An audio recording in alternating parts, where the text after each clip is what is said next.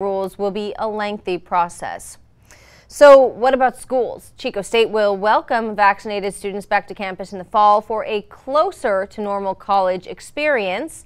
Action News Now reporter Danny Maston is live at the university. Danny, as the state drops its mask mandate this month, will the school follow suit? Haley, for now, students will not be able to get rid of these masks come fall semester.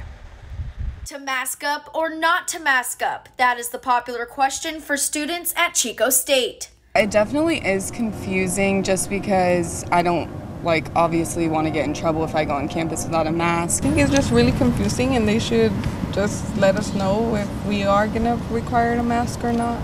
The university says it doesn't know what it is doing just yet due to unclear guidance it received from Cal OSHA. After what they put out last night, nothing changes from now until June 15th but we potentially have some options for uh, distinguishing between vaccinated and unvaccinated after June 15th. They shouldn't require it because like you could hardly hear people with a mask and especially since you're going to be in a classroom it's going to be a lot harder. I would definitely be uncomfortable. It's just not normal to wear a mask sitting in a classroom and we've been not wearing a mask at home this whole time while in classes. The university conducted a survey that shows that 78% of students and faculty will be fully vaccinated by the fall semester. That's a very encouraging number.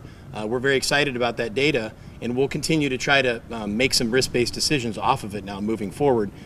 Everyone has a choice if they should be vaccinated or not, but I think that in order to go back fully in person, they're going to want to see most of the student body vaccinated. The university will be operating at 50% capacity for the fall semester, which begins on August 23rd. Live from Chico State, Danny Maston, Action News Now coverage you can count on. Thanks, Danny. Again, as of now, students who will be on campus for the fall this in this semester will have to wear masks when they are indoors or if they're outdoors and can't keep a social